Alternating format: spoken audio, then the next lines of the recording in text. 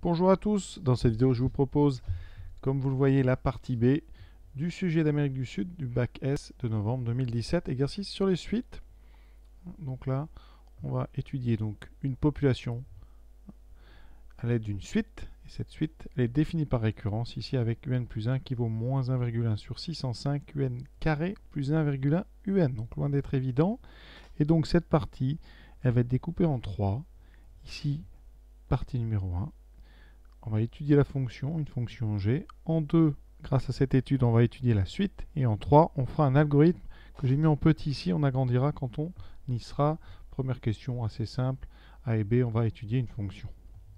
Dans cette première partie, on va donc justifier que la fonction g ici présente est croissante sur l'intervalle 0,60. Cette fonction g, qu'est-ce que c'est? C'est une fonction, donc, polynôme. Hein. G, c'est un polynôme du second degré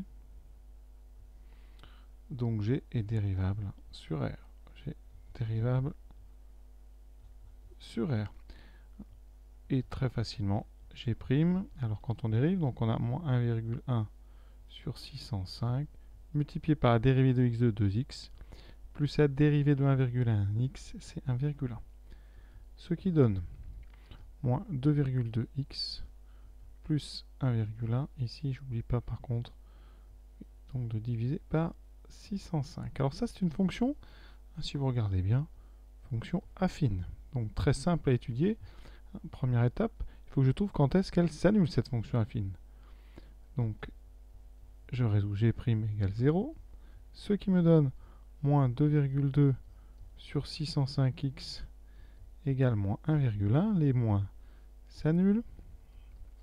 Il me reste donc x égale 605 fois 1,1 sur 2,2. Donc là, on peut simplifier, vous voyez, sans calculatrice. On simplifie par 1,1, il reste 605 sur 2, donc 302,5. Ce qui me donne un tableau de signes très simple pour cette fonction. Donc G', on est sur moins l'infini plus l'infini. On va s'intéresser à 0,60 juste ensuite. Là, on est à 302. Donc ici, on a du 0. La fonction g', elle est affine décroissante. Donc, fonction affine décroissante, son signe c'est plus 0 moins. Ce qui fait que la fonction g, elle est donc croissante, puis décroissante. Nous, on est sur 0,60. 0,60, c'est 0 est là, 60 est là. Donc, on est sur une partie où g est croissante. Hein. Donc, g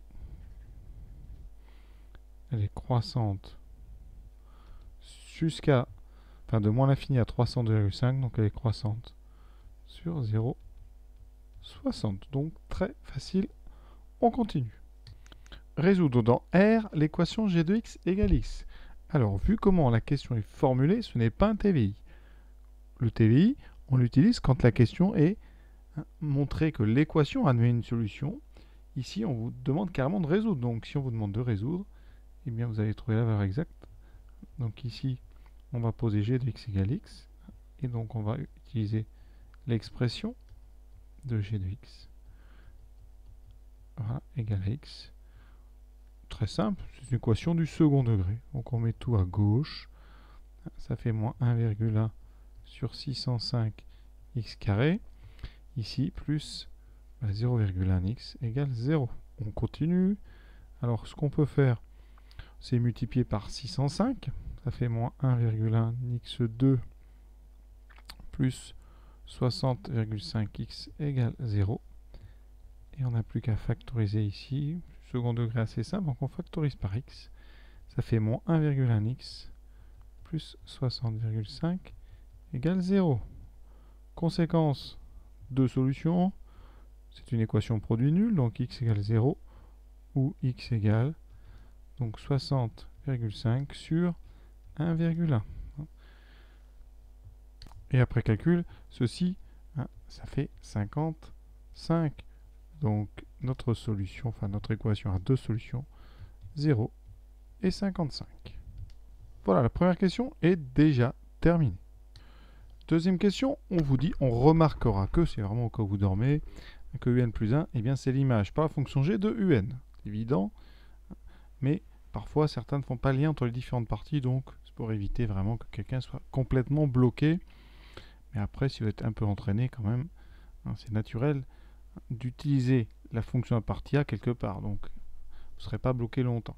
Ici, on vous demande de calculer la valeur arrondie à 10-3 de U1. Alors U1, c'est donc, si vous avez compris, l'image par G de U0. U0, c'est 12. Donc ça fait moins 1,1 sur 605 fois 12 au carré, plus 1,1 fois 12. Alors là, inutile, on va prendre la calculatrice, puisqu'on vous demande une valeur arrondie à 10 moins 3. Pour un arrondi à 10 moins 3, très simple, on garde trois chiffres après virgule, et c'est fait. Et vous voyez donc que ça donne 12, donc, alors attention, on arrondit, on essaie d'arrondir vraiment au mieux. 930 ici, donc le mieux, eh c'est 938, c'est le plus près. Donc voilà, une question rapide. Interpréter, eh bien, on est sur une population, donc avec ce modèle, eh on peut estimer que la population, donc en... Alors pour les années, je vais quand même rappeler les morceaux du texte. Au début du texte, on vous disait qu'un biologiste souhaite étudier la population d'une espèce animale. Et si on commençait à 12 000 en 2016, on était en milliers, donc ça faisait 12, ça c'est U0. Donc U1, U1, eh bien ça correspond donc à l'année 2017. Donc U1, eh bien ça veut dire que comme U1 c'est 12,938, U1 c'est la population estimée, la population estimée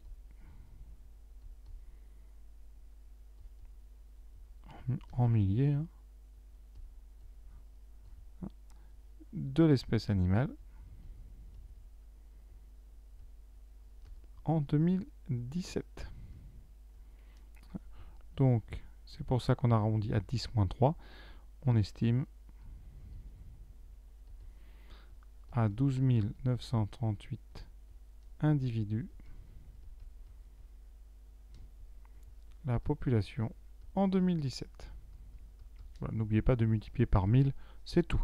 Et surtout, important de bien rappeler que là, on est en 2017. En 2017, c'est U1, 2016, c'est U0, etc. Maintenant, on va démontrer par récurrence que pour tout entier naturel n, un est entre 0 et 55.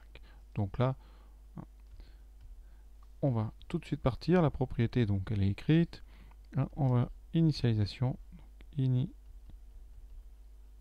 Initialisation. Alors, comme on veut montrer que c'est pour tout entier n, on prend pour n égale 0.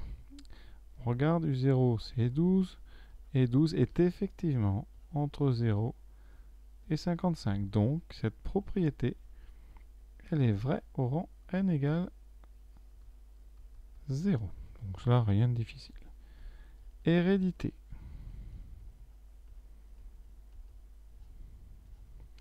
Alors, qu'est-ce qu'on peut faire pour l'hérédité? Donc, on va supposer, pour un certain rang, donc on suppose que la propriété est vraie pour un certain rang. Alors, ce rang, vous pouvez choisir de garder la lettre n ou de prendre une nouvelle lettre.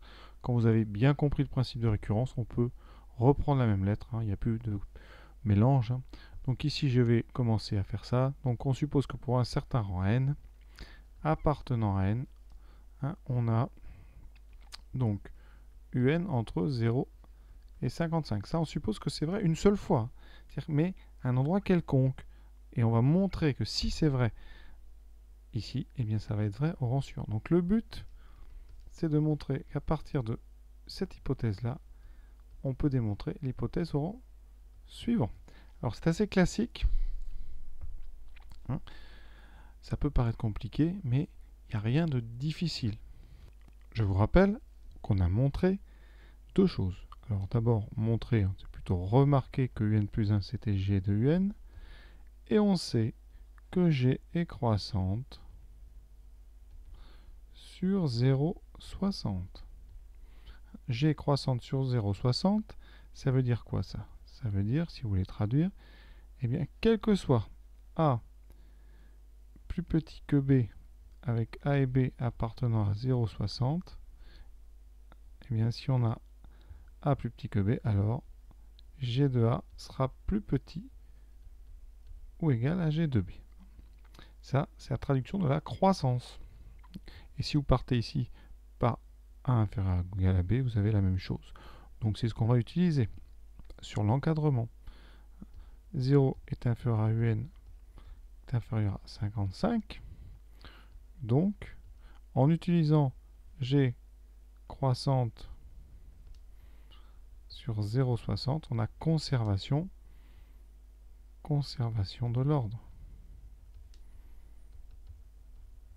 Et voilà, ça veut dire que là, quand vous utilisez G, on a G de 0 qui est inférieur ou égal à G de UN, qui est inférieur ou égal à G de 55.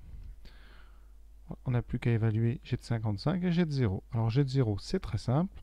La fonction G de x, je la rappelle, c'est moins 1,1 sur 605 x carré plus 1,1 x. Hein. Je la retrouve ici avec la relation de récurrence. Donc, eh bien, G de 0, or, G de 0 ici, on voit bien que c'est 0, que c'est 0, et G de 55, on a juste à le calculer à la machine. Mais, j'oublie une chose, on a montré tout à l'heure que G de 55, ça valait 55.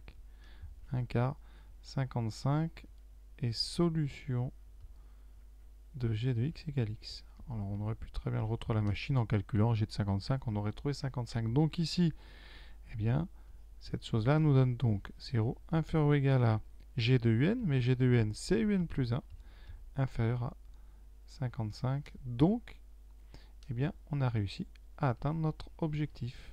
Voilà, on est parti donc de UN entre 0 et 55 et on est arrivé en utilisant la croissance de la fonction f et les valeurs en 0 et 55, on arrive à montrer notre hérédité. Donc l'hérédité est démontrée. On pense bien sûr à conclure proprement. La propriété est vraie pour n égale 0. Elle est héréditaire, donc, d'après le principe de récurrence, pour tout n appartenant à n, on a bien un entre 0 et 55. Question C. Démontrer que la suite un est croissante. Alors là, on a deux, deux méthodes complètement différentes. Une vraiment, vous allez voir, très simple et très efficace. Et une deuxième un petit peu plus délicate. On va faire les deux. Hein, et on va commencer par la méthode la plus astucieuse. C'est une petite récurrence toute simple. Donc, eh bien, on va démontrer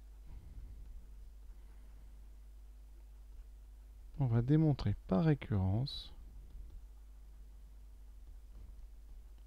sur n que eh bien, pour tout n appartenant à n, un plus 1 est donc plus grand ou égal à un. Donc voilà. Alors, initialisation.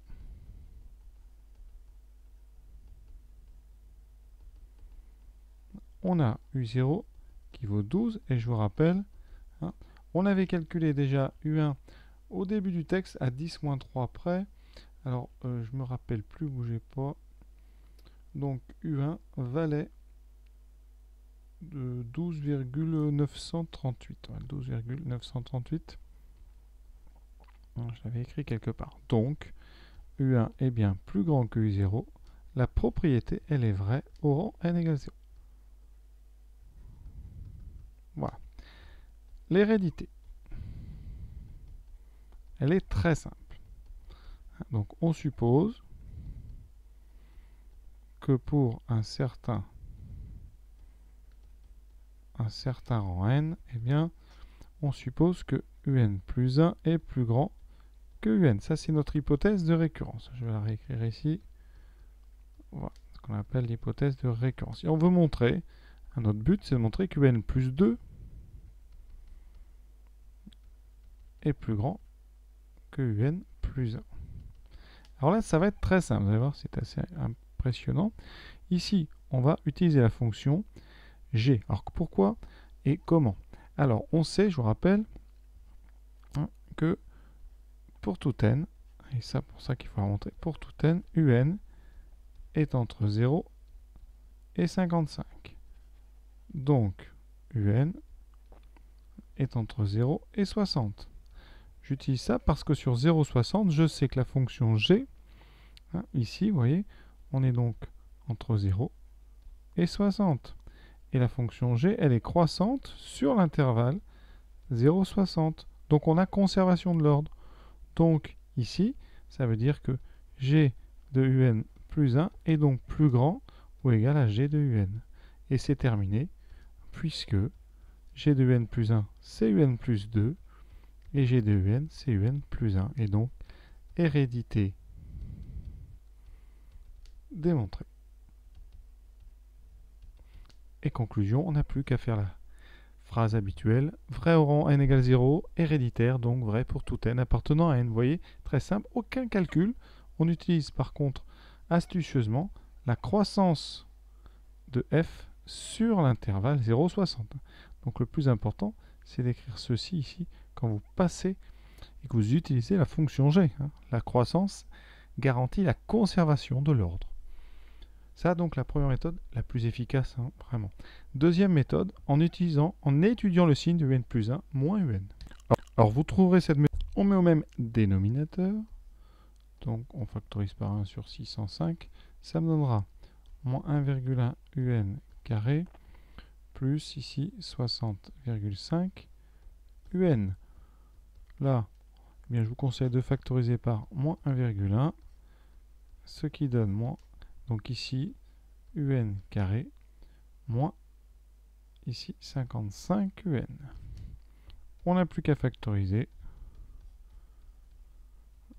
Ça fait un facteur 2 un moins 55. Ça, c'est une des méthodes, hein, parce qu'on peut factoriser. Je vais vous montrer une deuxième façon de faire cette, hein, cette étude de signes. Alors, pourquoi on y arrive?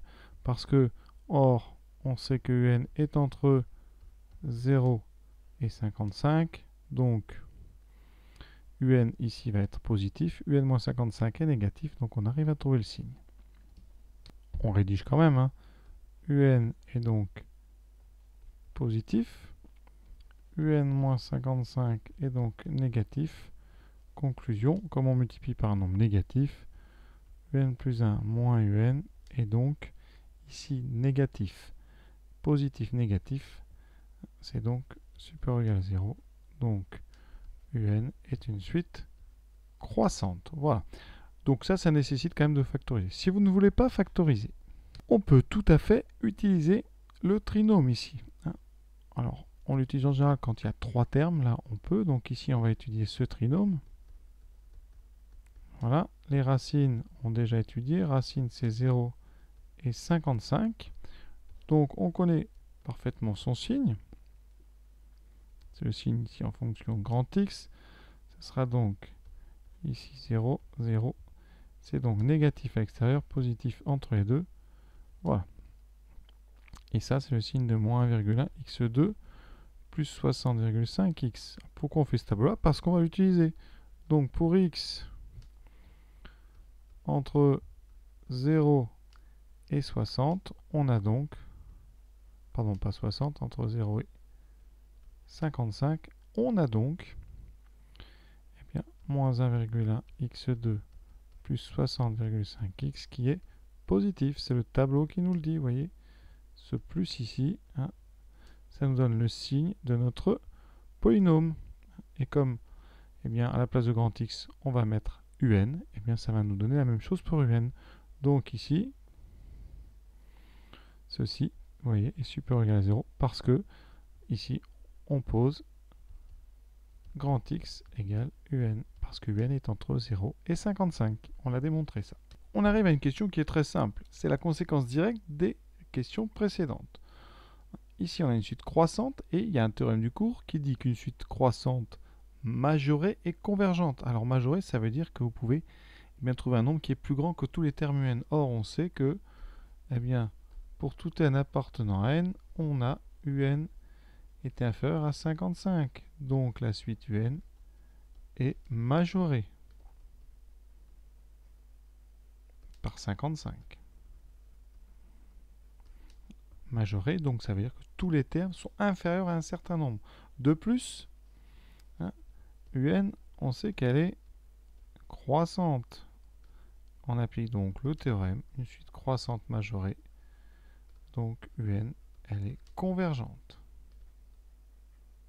Convergente, ça veut dire qu'elle admet une limite finie. Convergente, donc, hein, admet une limite finie.